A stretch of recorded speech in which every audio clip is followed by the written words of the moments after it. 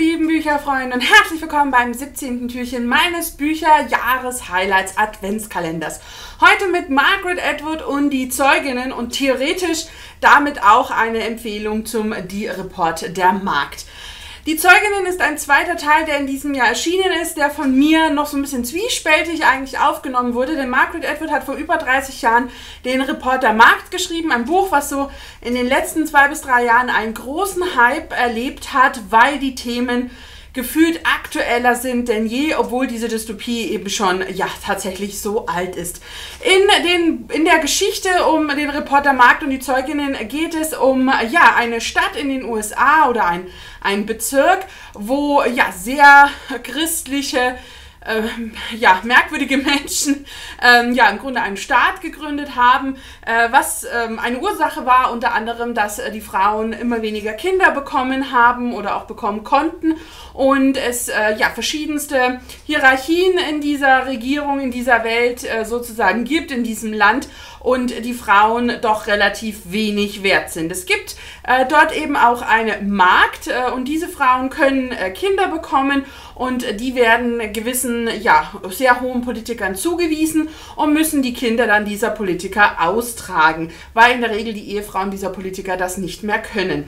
Ähm, man muss die Geschichte vom Reporter Markt kennen, von diesem ja sehr extremen äh, Gottesstaat, man könnte es tatsächlich wahrscheinlich so nennen, weil man sich auf Religion stützt äh, und äh, die Männer unglaubliche Macht in diesem Land auch bekommen.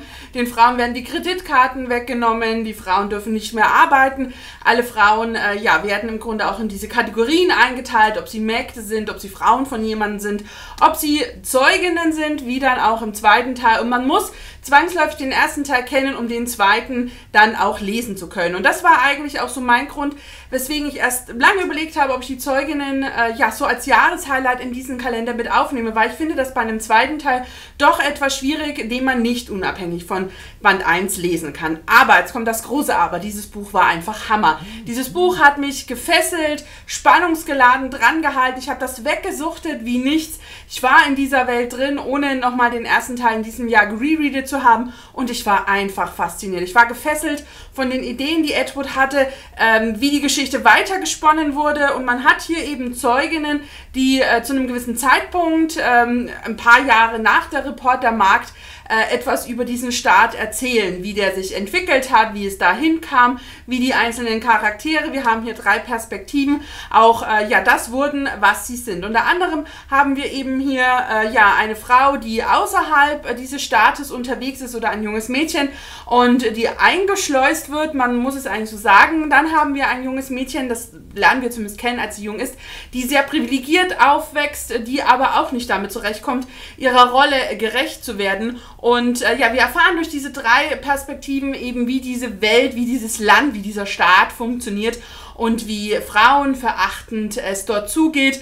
Es ist im Grunde auch sehr menschenverachtend, denn natürlich haben auch die Männer zwar eine gewisse Macht, aber dürfen auch nicht so immer das tun, was sie wollen. Und ähm, ja, man spürt hier in diesen Geschichten aber definitiv, dass die Frau, äh, wenn man in dieser, in dieser Welt, in diesem Staat aufkommt, dass man da nicht viel zu lachen hat. Und ich finde die Thematik ähm, gerade auch in den ja, gefühlt letzten fünf Jahren unfassbar aktuell, äh, wenn man sich umsieht auf dieser Welt, was da passiert, wie es passiert und äh, finde es unfassbar gruselig, äh, diese Vorstellung, äh, ja, sowohl vom Reportermarkt als auch von den Zeuginnen dass das irgendwie wahr sein könnte. Und dass es ja irgendwie wahr ist, weiß man, denn es gibt viele Länder, die ähnlich, äh, sage ich mal, funktionieren. Sich gewisse Dinge hat sich Margaret Atwood natürlich aus der Wirklichkeit herausgenommen. Und da sieht man mal, dass äh, gefühlt eigentlich Fiktion auch gar nicht schlimmer sein kann als die Realität. Aber äh, ja, Margaret Atwood hat einen Stil, der unfassbar packt, der einen fesselt, mitzieht, reinzieht, beschreibt, wie sich Charaktere fühlen, wie sich das aufbaut.